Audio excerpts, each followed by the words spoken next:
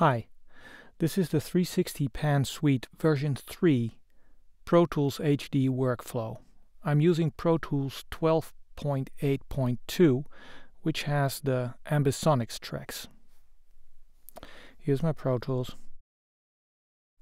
So I have three dialogue tracks, Arjen and Max, some ambisonics Foley footsteps, a piano track there, and here's my monitor track. And as you can see my monitor is inserted on a third order ambisonics track and it outputs to stereo headphones.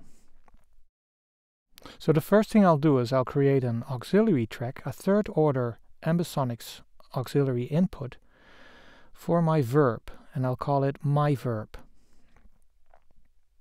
I'll move it over there.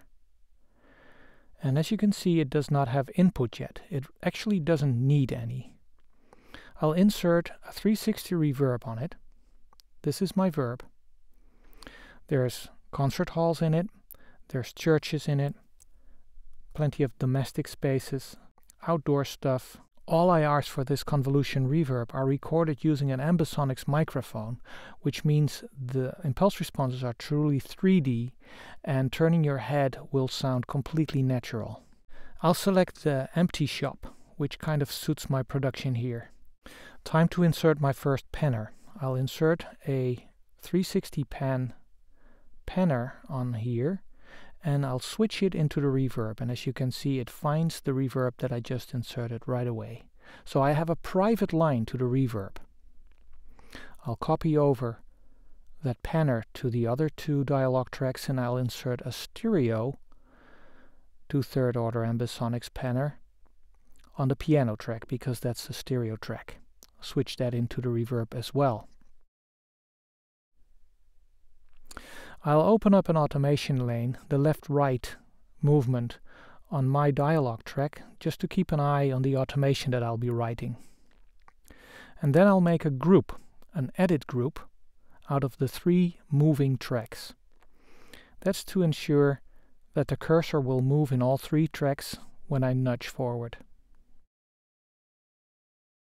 This particular workflow requires three more settings, these three here. This way I can use the keypad to nudge forward and back by a full second, which is what my grid and nudge settings are, which makes it easy to move the puck.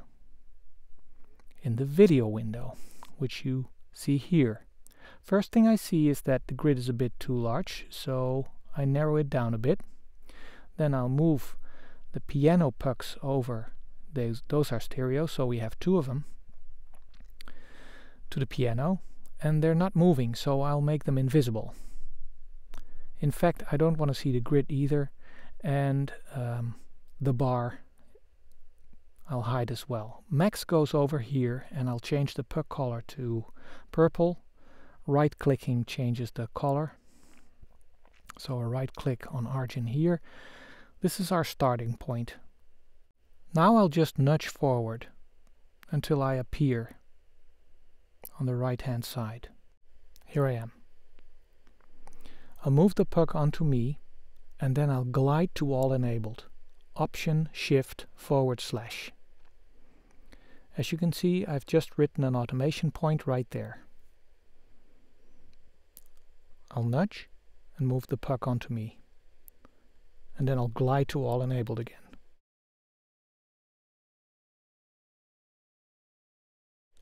Now around the rear, I'll just nudge a few frames and make a nice and tight transition that you see right there.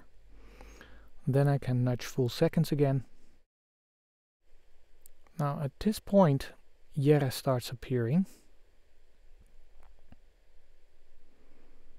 And I just keep everybody's puck in the right place. It's very important to do that because the viewer can turn to face an audio source at any moment and it should appear exactly in the middle.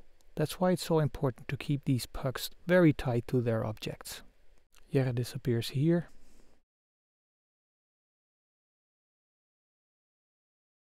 Max appears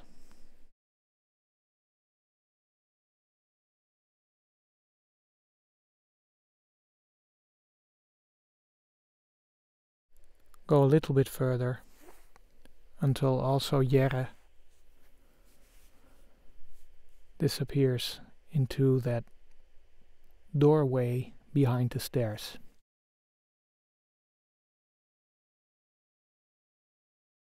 So now I'll back up and I'll put my three moving dialogues into touch latch mode to record the distance of each track. For that I will switch my verb out of mute and tone down the reverb time a little bit because this empty shop is a bit longer than what you're seeing here. And um, I start quite far away. Hey Jerre, kun jij even helpen de speaker van het dak te halen? Yes, ik kom eraan. Back up a bit. Do the same for Jerre. Quite far away. Hierboven toch?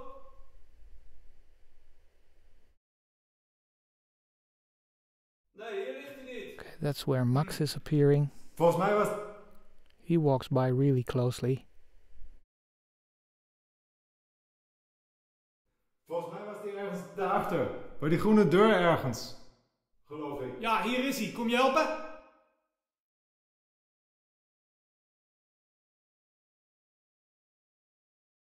Bij die groene deur ergens. Geloof ik. Ja, hier is hij. Kom je helpen? Yo, Oops, that's the wrong way around. I should make myself Deur ergens. further away. hier is hij. Kom je helpen? yo. Now let's listen to this Foley track. For this, I'll create a subbus of the monitor in first order ambisonics to send this footstep recording to. And I'll create an input to my reverb called verb in and create a first order subbus for that one as well.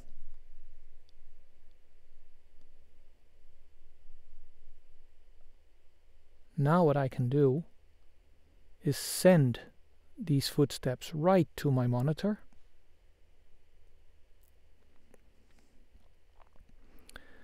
And create a new send for the reverb.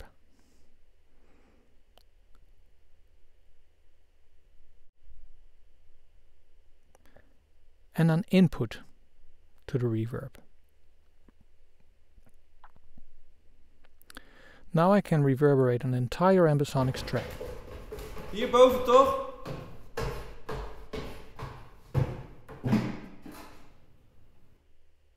Nee, hier ligt hij niet. Finally, I would like to toy with the reverb width a little bit.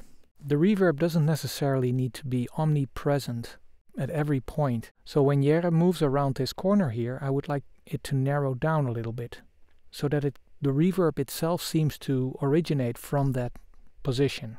Nee, hier ligt hij niet. Volgens mij was die ergens daarachter. Bij die groene deur ergens. Same here with me.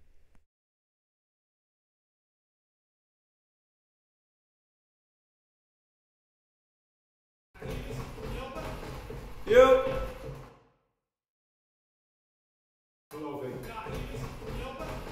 yo. And I can use the monitor to simulate looking around and listening to that locality of the reverb.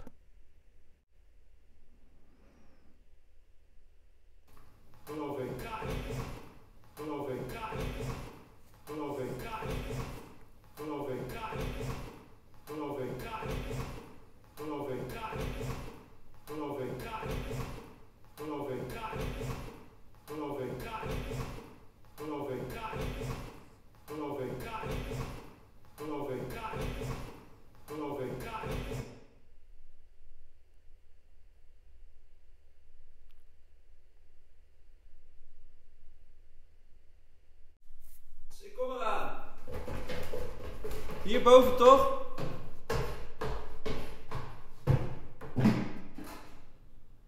Nee, hier ligt hij niet. Hmm. Volgens mij was die ergens daarachter. Bij die groene deur ergens. Geloof ik. Yo.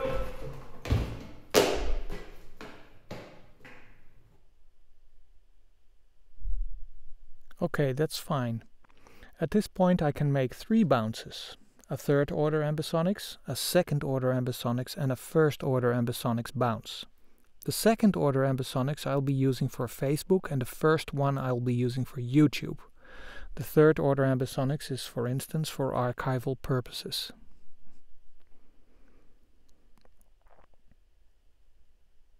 For the second order ambisonics, I will need to create a second order ambisonic subbus to my monitor channel. That I can select as an input for my bounce.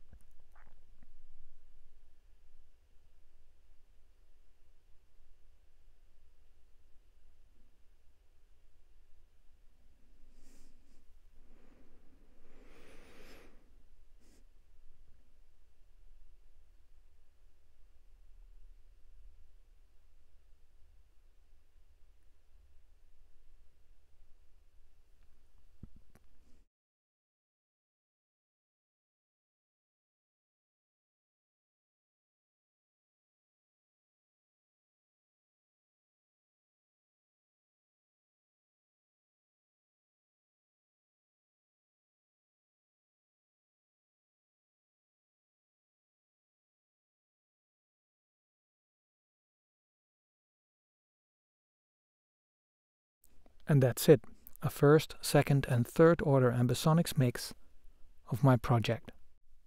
We will show on our website what to do with these three mixes in order to upload to YouTube or Facebook. Just go to audioease.com slash 360pan.